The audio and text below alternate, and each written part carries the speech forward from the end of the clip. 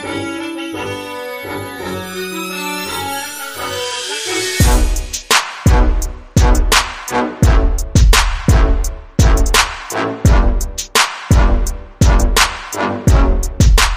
pertama, alhamdulillah bang, senang sekali.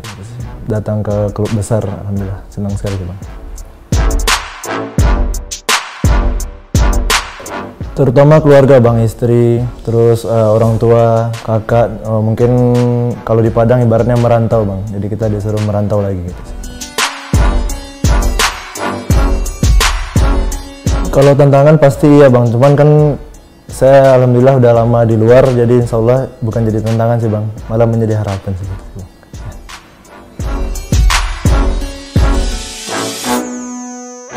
Uh, bersaing pasti siap bang kita bersaing secara sehat untuk kita siapa pun yang main pasti kita saling support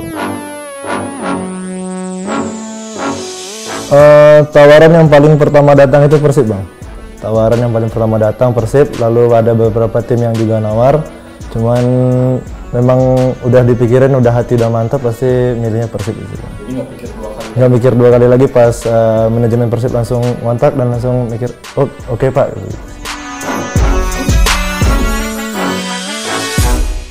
Tentunya Bang Imade Bang karena saya juga idolakan karena saya waktu kecil masih no, dia sudah main jadi saya sering nonton gitu sih Bang. Oh, persaingan Liga 1 mulai dari tahun kemarin udah mulai ketat bang. Apalagi musim depan pasti banyak tim yang sudah mempersiapkan tim dengan matang sih bang. Pasti bakal lebih sengit lagi bang.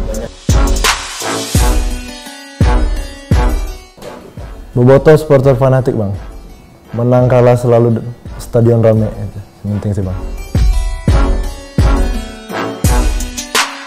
Kalau coach Fasa saya melihat uh, latihannya bagus bang, bagus sekali. Saya melihat kerja keras. Uh, mungkin ini suatu kebanggaan juga bang dilatih oleh coach Fasa sih bang.